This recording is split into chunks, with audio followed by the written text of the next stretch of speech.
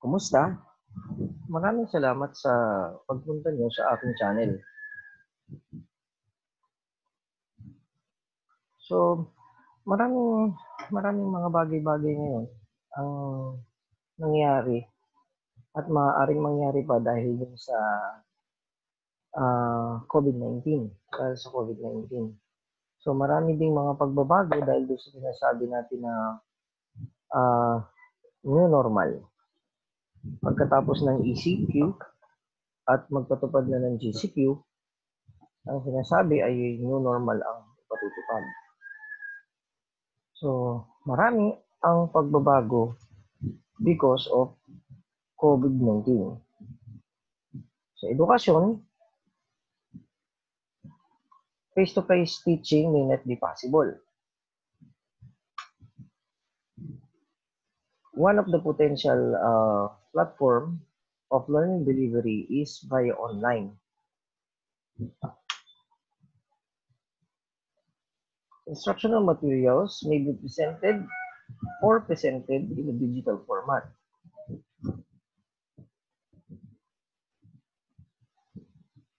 Yan. The mode of getting instructional materials and submission of homeworks may be via online platform. So ano-ano to? Ano-ano ba itong mga ito? Maaaring email or maaaring cloud storage at i-send ang link.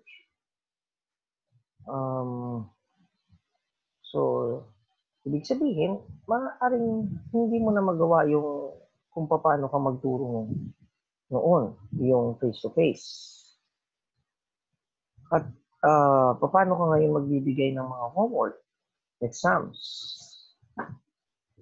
Um, yan ang mga dapat natin pag-isipan sa mga panahon ito. Pero naisip mo na ba kung uh, ganito ang sitwasyon mo? Your students are learner with visual impairment. Kalawang, you're teaching mathematics. Katlo, build instructional materials are not possible to use in online platform because your students don't have braille displays or braille display. Alam naman po natin na karamihan ng mga estudyante natin dito sa Pilipinas ay walang uh, braille display. Meron siguro yung iilan, pero karamihan po ay wala. Uh, yun nga hong uh, computer at internet lang eh medyo wala pa tayong malinaw na ano na datos tungkol doon kung ah uh, paano no pero isipin mo na lang kung papabasa mo sa estudyante mo may kapansanan itong ganitong situation paano mo kaya gagawin yan ngayon na hindi na maaaring magamit yung mga braille uh, format. Kasi alangan namang magbe-braille ka using braille, brailler. Tapos si, paano mo ipapadala sa estudyante mo? Gayong hindi naman pwede yung face-to-face uh, teaching. So ito po, maaari pong gawin ito. Uh, gamit po ang kanyang screen reader at computer. Sample po.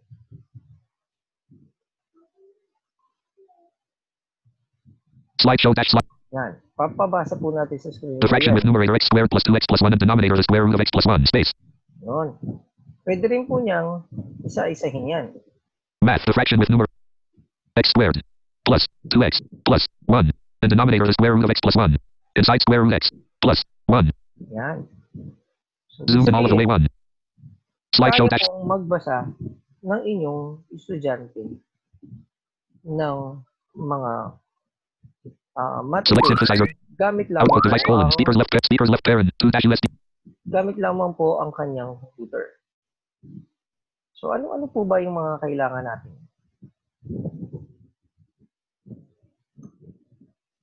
Microsoft Word, NVDA or non- non-visual desktop access ng NV Access, math type of design science. Ito po ay equation editor.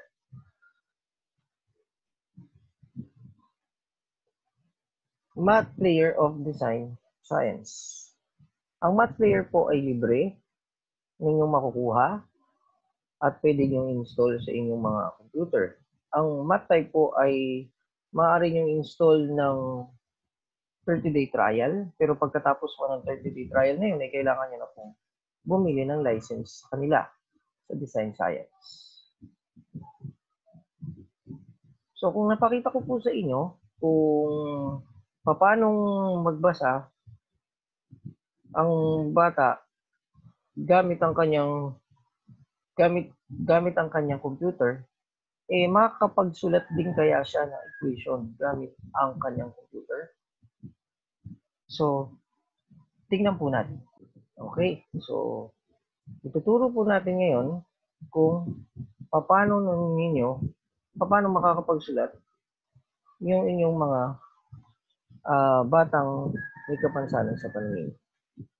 So, unang-una po, kailangang marunong siya ng LaTeX code. So, halimbawa po, sample natin.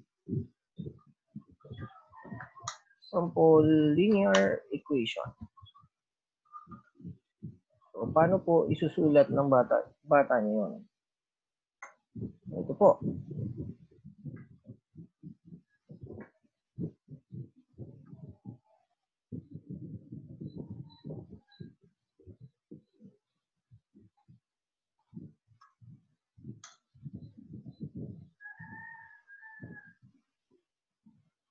Yan. So yung yung nakita niyo po kaninang nakita niyo po kanina na code, ito, itong nakita niyo na to. Um yan. Yan po ay ang LaTeX code. So gamit po ang ah, math type, may translate po natin yan sa equation na nababasa ng mga cited. Ito na po yun.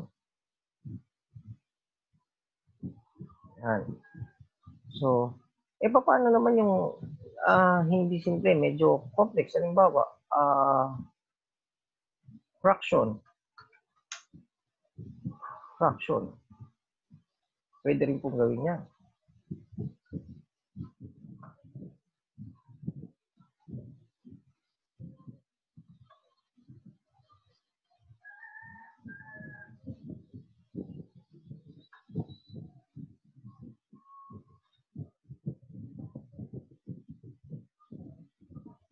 Yan.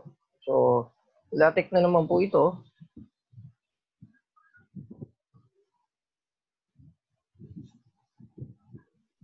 Yan. Ito-translate din po natin siya ulit ngayon sa ah, equation na nakikita ng mga cited.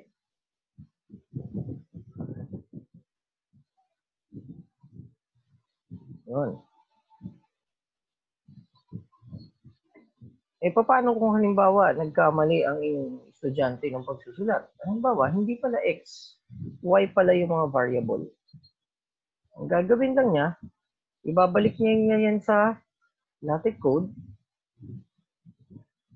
Tapos, papalitan niya yung mga mga variable. Halimbawa, palitan natin siya ng y. Yan. Yan. Tapos, ita ita-translate lang ulit galing ga- gamit ang math type.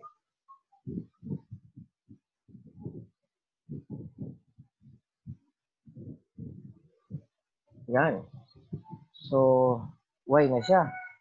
So, nababasa, kung kanina pinakita ko sa inyo na, na nababasa ng estudyante nyo gamit ang kanyang skill reader, pwede rin siya magsulat ng equation na mababasa din naman ninyo kung sakaling meron kayong ibibigay na assignment sa kanila. So, ipabasa nga natin itong mga ginawa natin sa Microsoft Word gamit ang is- ang Document 1. That, ang ah, screen reader. Subukan natin. node that sample linear equation. Blank. ax plus bx plus c equals 0. Space. Yan. Fraction.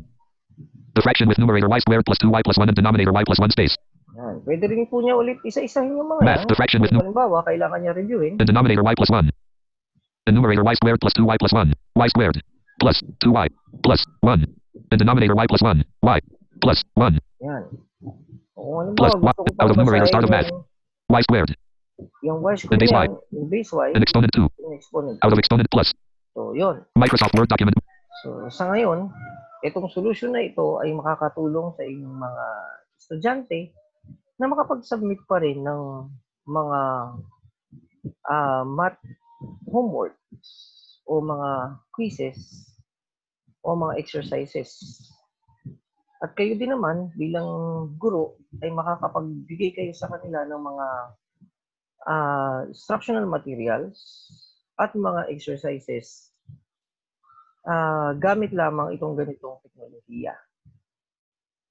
Oh, So maraming maraming salamat. Desktop. Start. Type. 2. ay Running application. Word 2016. PowerPoint 26. Start Zoom dash 2 running Windows. Task switchers. Meeting controls. Meeting. may natutunan po kayo sa aking ah, ginawang ano na to, ah, video na to. Maraming salamat.